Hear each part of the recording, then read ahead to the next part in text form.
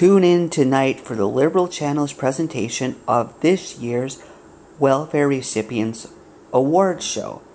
You better not miss the program, or else you will not find out who is a welfare recipient of the year, who has received the most dollars on welfare this year, who has been on welfare the most consecutive years in a row, who has the most family members and dependents on welfare, who has the most luxurious and extravagant lifestyle on welfare. All these awards will be given, plus, a special award will be given to the lifetime recipient of welfare reward. Just like there's lifetime achievements in other endeavors, there's lifetime achievements in welfare.